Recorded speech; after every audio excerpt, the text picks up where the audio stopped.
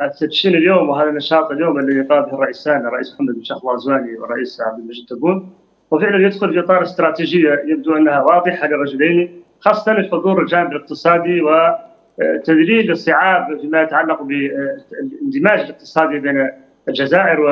وموريتانيا ومنطقة غرب إفريقيا وحتى دول الساحل. نعم. وبالتالي هو في الحقيقة نشاط له دور سيكون له دور كبير على الساكنة ما يتعلق بمستواها المعيشي وبدخلها الوطني وما يتعلق أيضا بأمنها وتنميتها. وبالتالي أنا أعتقد أن هذه الإجراءات تدخل في صميم المتطلبات التنمية للمغرب العربي وإفريقيا وبالتالي تعتبر هذه الخطوة خطوة هادفة وستكون لها نتائجها المستقبلية في إطار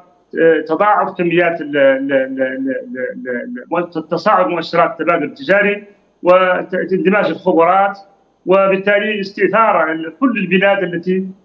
ستكون لها يعني الآن آه، ستستأثر بهذه الإجراءات المتعلقه ب آه، يعني